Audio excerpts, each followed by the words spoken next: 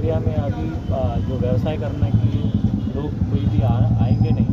और इतने साल का इतिहास रहने वाला इस शहर में फॉरेन टूरिस्ट है डोमेस्टिक टूरिस्ट है पुराने शहर में आना चाहिए। शहर की नान कलिया हो या मर्ज़ी हो या अलग अलग चीज़ खाना चाहिए यहाँ की व्यवसाय धंधा टूरिज़्म ये बढ़ना चाहिए। इसके लिए बड़े रास्ते होना चाहिए और ट्रैफ़िक का सुधारना होनी चाहिए। अदरवाइज़ इस शहर का फिर इस एरिया में रहने लायक नहीं रहेगा। इसलिए हमने इस एरिया के जो जो बड़े रोड्स हैं और जितने जो रोड्स रह गए थे, वो सभी रोड्स वो कॉन्क्रीटाइजेशन कर रहे हैं और उसमें जो अतिक्रमण और अनाधिकृत बांधकाम का जो बाधा आ रही है, वो हम पूरा निकाल रहे हैं। और जिन जिन जो रास्ते में आ रही है, हम उनको टी देने के हमारी तैयारी है। लेकिन आप उसके खुद निकालिए।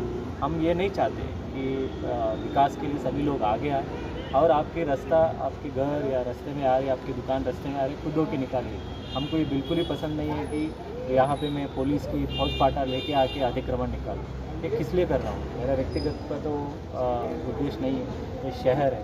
ये मलिक अंबर ने बसाया हुआ इस शहर को। इसी जैसे जैसे शहर बढ़ता गया, वैसे वैसे लोगों के पास साधन सामग्री बढ़ते गए, गाड़ियाँ बढ़ते गई। तो अभी उसी के यातायात से डीपी प्लान के हिसाब से रास्ते बड़ा होना चाहिए। हम किसी को बेघर नहीं करना चाहते।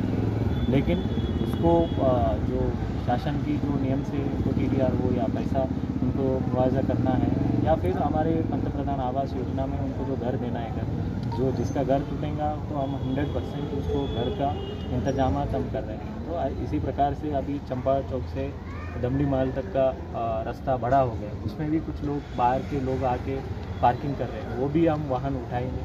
और चंपा चौक से लेके जालना रोड तक, अगर ये अगर हो गया शहर में कल के दिन एक बीच में छावनी में एक परिवार पवित्र रमज़ान महीने के में एक पाँच लोग मतलब मर गए। मतलब वो बाहर निकल नहीं सके या फिर हमारा फायर इंजन वहाँ तक पहुँच नहीं सका। लेकिन ये, ये ऐसे किसी के परिवार में नहीं होना चाहिए।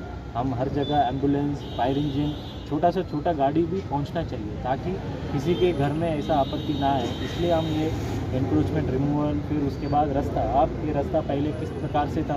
यहाँ के लोगों को कुछ लेकिन अभी ये रास्ता पूरा सीमेंट कॉन्क्रीटाइजेशन हो गया। और जो जो बच्चे हैं उस सभी रास्ते ये पूरे कॉन्क्रीटाइजेशन करने का, शासन का जो इच्छा है, वो पूरा डेवलपमेंट इस एरिया में भी होगा। ऐसा मैं आह्वान करता हूँ। सर जनता के लिए क्या मैसेज देंगे? जिन लोगों ने टीडीआर ले भी लिया है और वो मकान अभी तक खाली नहीं किया है उनके लिए क्या मैसेज लोग शायद महापालिका का इंतज़ार कर रहे थे या लोग पुलिस का फौज पाटा लेके आने तक वो इंतज़ार कर रहे थे। आज हम आगे और आगे भी हम आते रहेंगे। वो हम ये नहीं चाहते। मैं भयभीत से किसी को अतिक्रमण निकालना मैं नहीं चाहता। मेरा उद्देश्य है कि लोगों को खुशी खुशी से निकालना चाहिए। हाँ एक आदमी का स्वार्थ से पूरा कौम को बदनाम नहीं करना चाहिए, पूरा कौम को नुकसान होना नहीं चाहिए। एक आदमी का किसी व्यक्ति ने, अगर मैं गाड़ी लगाऊँ तो मैं बीच रास्ते में भी परवानगी ले लूँ, कौन बोलेगा फिर? तो इसलिए कुछ हद तक हम उन्नीस बीस रहा तो हम छोड़ देंगे। लेकिन पूरा की पूरा अंदर आ गए उससे यातायात का परेशानी हो रही है, या फायर इंजन आने में मुश्किल हो रही है। ये इसलिए किसी का मुलाजा नहीं वो लाइन खींचा गया, वो लाइन के हिसाब से कार्रवाई होगी। सर, आज कहाँ से कहाँ तक की अतिक्रमण है अब इस पूरा एरिया का, जहाँ जहाँ हमने मार्किंग किया हुआ, उस एरिया का हम निकालेंगे। और किसी को अगर कुछ घर में निकालने के वक्त में, हालाँकि हमने पिछले हफ़्ते भर से अनाउंसमेंट करते रहे कि भाई खुद भी खुद निकालो। हमारे डिपार्टमेंट ने सभी लोगों को बोला गया। फिर भी अगर कुछ लोग रहे होंगे, मैं उनको आह्वान करूँगा ब खुद निकाल लीजिए, नहीं तो बहुत ज़्यादा नुकसान हो जाएगा चंपा चौक से जालना रोड बहुत बड़ा मास्टर प्लान है और काफ़ी सालों से रुका हुआ है, क्योंकि कलेक्टर ऑफ़िस और पंचायत समिति आने के लिए वही एक बहुत बड़ा रोड माना जा रहा है। कलेक्टर ऑफ़िस, पंचायत समिति के लिए मैं नहीं कर रहा हूँ, क्योंकि कलेक्टर ऑफ़िस में कितने लोग जाते हैं? इस शहर सत्रह लोगों का पॉपुलेशन की शहर है। कलेक्टर ऑफ़िस के लिए नहीं, आपके घर तक। अभी लोगों का विकास होता है होता है। आज सपना देखने गाड़ी लोग सपना देखना बंद कर पैसा कमा के गाड़ी खरीदना है तो गाड़ी रखेंगे और गाड़ी ले जाएँगे तो बड़ा तो आपके घर तक गाड़ी आएँगे। चालीस हज़ार बड़ा आबादी देखना चाहता तो इसलिए ये जालना रोड और चंपा चौक का जो है हमारा मास्टर प्लान में उसका जॉइंट मेज़रमेंट का हमने कार्रवाई शुरू कर दी है। और मैं लोगों का आह्वान करूँगा खुशी खुशी से रजामंदी से आइए। आपको जो पंतप्रधान आवास योजना में हम घर दिलाएँगे और टी चाहिए तो टी ले लीजिए। और लेकिन ये रास्ता होके रहेगा।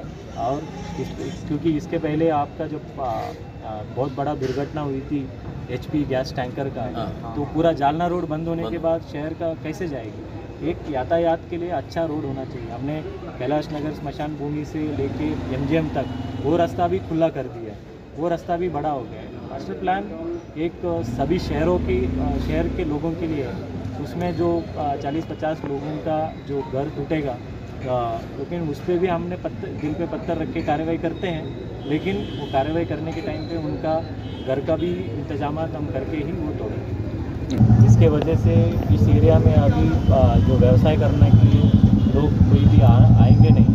और इतने साल का इतिहास रहने वाला इस शहर में फॉरेन टूरिस्ट है डोमेस्टिक टूरिस्ट है पुराने शहर में आना चाहिए। शहर की नान कलिया हो या मर्ज़ी हो या अलग अलग चीज़ लाना चाहिए, यहाँ की व्यवसाय, धंधा टूरिज़्म ये बढ़ना चाहिए। इसके लिए बड़े रास्ते होना चाहिए और ट्रैफ़िक का सुधारना होनी चाहिए। अदरवाइज़ इस शहर का, फिर इस एरिया में रहने लायक नहीं रहेगा। इसलिए हमने इस एरिया के जो जो बड़े रोड्स हैं और जितने जो रोड्स रह गए थे, वो सभी रोड्स वो कॉन्क्रीटाइजेशन कर रहे हैं और उसमें जो अतिक्रमण और अनाधिकृत बांधकाम का जो बाधा आ रही है, वो हम पूरा निकाल रहे हैं। और जिन जिन जो रास्ते में आ रही है, हम उनको ई देने के लिए हमारी तैयारी है, लेकिन आप उसके खुद निकालिए।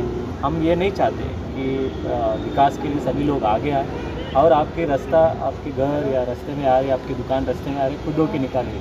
हमको ये बिल्कुल ही पसंद नहीं है कि यहाँ पे मैं पुलिस की फौज पाटा लेके आके अतिक्रमण निकाल। ये किस लिए कर रहा हूँ? मेरा व्यक्तिगत का तो उद्देश्य नहीं है। ये शहर है। ये मलिक अंबर ने बसाया हुआ इस शहर को। इसी जैसे जैसे शहर बढ़ता गया, वैसे वैसे लोगों के पास साधन सामग्री बढ़ते गए, गाड़ियाँ बढ़ते गए तो अभी उसी के यातायात से डीपी प्लान के हिसाब से रास्ते बड़ा होना चाहिए। हम किसी को बेघर नहीं करना चाहते। लेकिन उसको जो शासन की जो नियम से उनको टी डी आर हो या पैसा उनको मुआवजा करना है, या फिर हमारे पंतप्रधान आवास योजना में उनको जो घर देना है घर, जो जिसका घर टूटेगा तो हम हंड्रेड परसेंट उसको घर का इंतज़ाम हम कर रहे हैं। तो इसी प्रकार से अभी चंपा चौक से दमड़ी महल तक का रास्ता बड़ा हो गया। उसमें भी कुछ लोग, बाहर के लोग आके पार्किंग कर रहे हैं। वो भी हम वाहन उठाएँगे।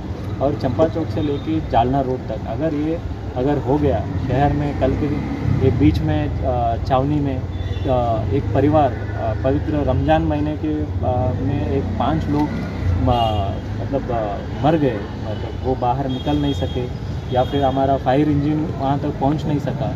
लेकिन ये, ये ऐसे किसी के परिवार में नहीं होना चाहिए।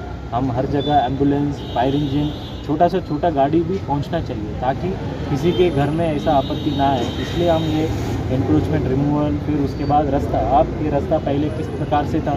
यहाँ के लोगों को कुछ लेकिन अभी ये रास्ता पूरा सीमेंट कॉन्क्रीटाइजेशन हो गया। और जो जो बच्चे हैं उस सभी रास्ते, ये पूरे कॉन्क्रीटाइजेशन करने का, शासन का जो इच्छा है, वो पूरा डेवलपमेंट इस एरिया में भी होगा, ऐसा मैं आह्वान करूँ सर जनता के लिए क्या मैसेज देंगे? जिन लोगों ने टीडीआर ले भी लिया है और वो मकान अभी तक खाली नहीं किया उनके लिए क्या मैसेज लोग शायद महापालिका का इंतज़ार कर रहे थे या लोग पुलिस का फौज पाटा लेके आने तक वो इंतज़ार कर रहे थे आज हम आगे और आगे भी हम आते रहेंगे। तो हम ये नहीं चाहते। मैं भयभीत से किसी को अतिक्रमण निकालना मैं नहीं चाहता। मेरा उद्देश्य है कि लोगों को खुशी खुशी से निकालना चाहिए। हाँ एक आदमी का स्वार्थ से पूरा कौम को बदनाम नहीं करना चाहिए। पूरा कौम को नुकसान होना नहीं चाहिए। एक आदमी का किसी व्यक्ति ने, अगर मैं गाड़ी लगाऊँ तो मैं बीच रास्ते में भी परमानगी ले लूँ। कौन बोलेगा फिर? तो इसलिए कुछ हद तक हम उन्नीस बीस रहा तो हम छोड़ देंगे। लेकिन पूरा की पूरा अंदर आ गए। उससे यातायात का परेशानी हो रही है। या फायर इंजन आने में मुश्किल हो रही है। ये इसलिए किसी का मुलाजा नहीं वो लाइन खींचा गया, वो लाइन के हिसाब से कार्रवाई होगी। सर आज कहाँ से कहाँ तक की अतिक्रमण मांगे अब इस पूरा एरिया का जहाँ जहाँ हमने मार्किंग किया हुआ, उस एरिया का हम निकालेंगे। और किसी को अगर कुछ घर में निकालने के वक्त में हालाँकि हमने पिछले हफ़्ते भर से अनाउंसमेंट करते रहे कि भाई खुद भी खुद निकालो। हमारे डिपार्टमेंट ने सभी लोगों को बोला गया। फिर भी अगर कुछ लोग रहे होंगे, मैं उनको आह्वान करूँगा उनको खुद निकाल लीजिए, नहीं तो बहुत ज़्यादा नुकसान होता है चंपा चौक से जालना रोड बहुत बड़ा मास्टर प्लान है और काफ़ी सालों से रुका हुआ है, क्योंकि कलेक्टर ऑफ़िस और पंचायत समिति आने के लिए वही एक बहुत बड़ा रोड माना जा रहा है। कलेक्टर ऑफ़िस पंचायत समिति के लिए मैं नहीं कर रहा हूँ, क्योंकि कलेक्टर ऑफ़िस में कितने लोग जाते हैं? ये शहर सत्रह लोगों का पॉपुलेशन की शहर है। कलेक्टर ऑफ़िस के लिए नहीं, आपके घर तक। अभी लोगों का विकास होता है टू व्हीलर लेके आएँगे फोर व्हीलर लेके आएँगे। आज सपना देखना है, पुराने शहर में लोग सपना देखना बंद कर दिए। क्योंकि पैसा कमा के गाड़ी खरीदना है तो गाड़ी रखेंगे कहाँ? और गाड़ी ले जाएँगे कहाँ? तो इसलिए बड़ा रोड अगर रहा तो आपके घर तक गाड़ी आएँगी, या एंबुलेंस पहुंचेगा, या फायर इंजन पहुंचेगा। लेकिन 40-50 लोगों के स्वार्थ की वजह से इतना बड़ा आबादी का पॉपुलेशन को मैं नुकसान नहीं पहुँचना चाहता। तो इसलिए ये जालना रोड और चंपा चौक का जो है हमारा मास्टर प्लान में उसका जॉइंट मेज़रमेंट का हमने कार्रवाई शुरू कर दी है। और मैं लोगों का आह्वान करूँगा खुशी खुशी से रजामंदी से आइए। आपको जो पंतप्रधान आवास योजना में हम घर दिलाएँगे और टी चाहिए तो टी ले लीजिए। और लेकिन ये रास्ता होके रहेगा। और इस, क्योंकि इसके पहले आपका जब आ, आ, बहुत बड़ा दुर्घटना हुई थी एचपी गैस टैंकर का तो पूरा जालना रोड बंद होने के बाद। शहर का कैसे जाएगी? एक यातायात के लिए अच्छा रोड होना चाहिए। हमने कैलाश नगर स्मशान भूमि से लेके एमजीएम तक वो रास्ता भी खुला कर दिया। है वो रास्ता भी बड़ा हो गया है। मास्टर प्लान एक सभी शहरों की शहर के लोगों के लिए है। उसमें जो चालीस पचास लोगों का जो घर टूटेगा लेकिन उस पर भी हमने पत्थर, दिल पे पत्थर रख के कार्रवाई करते हैं, लेकिन वो कार्रवाई करने के टाइम पे उनका घर का भी इंतज़ाम हम करके ही वो तोड़ेंगे।